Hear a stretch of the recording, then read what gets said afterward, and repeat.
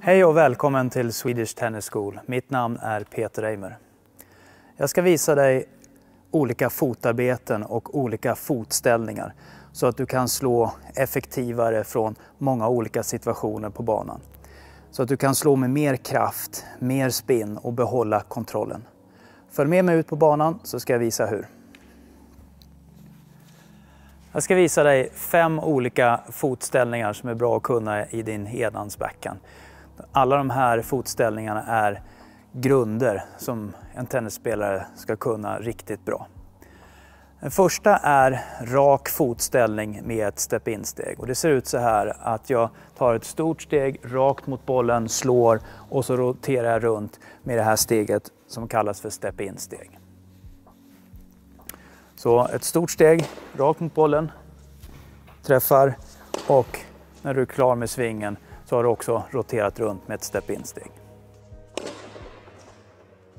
Den andra fotställningen som jag vill visa är halvöppen fotställning. Och då står du på det här sättet.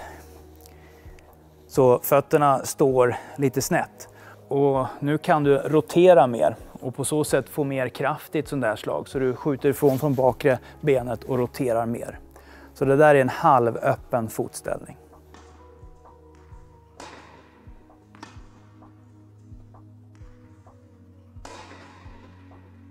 Sen när du slår en öppen fotställning så kan det se ut så här. Tar ett steg ut. Det här är ett väldigt bra fotarbete att använda just när du får bollar långt ut på sidan.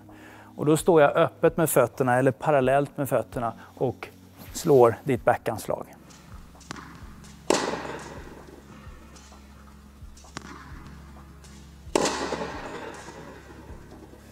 Sen finns det ett fotarbete som är bra att använda på returer, väldigt bra att använda när du springer på bollar på sidorna och har inte tid att sätta ner fötterna för det går så otroligt fort. Som kallas för utfallssteg och step in. Och det är också bra att använda från bakplan när du till exempel får en kort boll som är väldigt hårt slagen så du har inte tid att gå in i banan. Men du vill ändå gå på bollen och spela ett ganska offensivt slag. Kan det se ut så att du vrider så och så i luften så slår du ditt slag och avslutar med ett step-in-steg.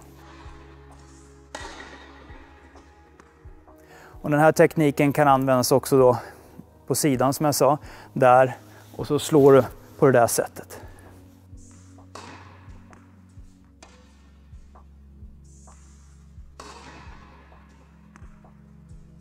Det sista och femte fotarbetet som jag vill visa, eller fotställningen, är en variant på den första, den raka fotställningen med step-in-steg.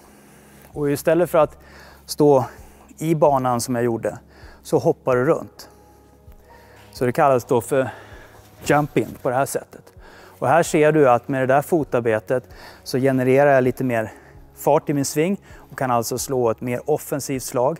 Men du ser också att jag kommer inte ut på sidan lika mycket som jag gör med en vanlig rak fotställning och step in.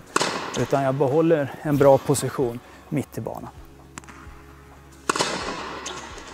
För att sammanfatta de grundläggande fotställningarna. Så den raka fotställningen med step-in-steg är mycket bra att använda när bollen är framför dig och kanske något kort så du kan ta ett stort steg in i banan. Den eh, halvöppna fotställningen är en mycket bättre fotställning när du har en boll på sidan men vill vara lite tuffare eller kan vara lite tuffare. Så att det kan vara att bollen är på sidan, du är inne i banan, du slår till exempel en inside-out boll och då kan du få mycket kroppsrotation samtidigt som en bra tyngdöverföring i slaget. Den öppna fotställningen används väldigt bra när du är i yttre position. När du får en, en svår enhandsbackhand och verkligen måste pressa dig för att nå bollen. Då slår du med fördel med den öppna fotställningen. Sen har du det här utfallssteg och step in som är ett bra fotarbete att använda när du returnerar en hård serve. Du har inte tid att ställa in dig och då är den tekniken bra. Likadant när du springer från sida till sida och har inte tid att sätta ner foten och ställa in det ordentligt utan måste slå slaget i, i luften, då är utfallssteg step in perfekt. Och du kan också använda det som ett attackslag. Bollen är kort men du hinner riktigt inte med att gå in i banan utan du gör ett utfallssteg och eh, step in. Sen har du den sista varianten som jag visade och det var den raka fotställning där du hoppar. Och den är, är väldigt bra att göra när bollen är framför dig och eh, du har tid att ta ett steg mot bollen men det går ganska fort och du vill slå med full kraft. Så se till att du kan de här alla grundläggande fotställningarna så blir du en bättre tennisspelare.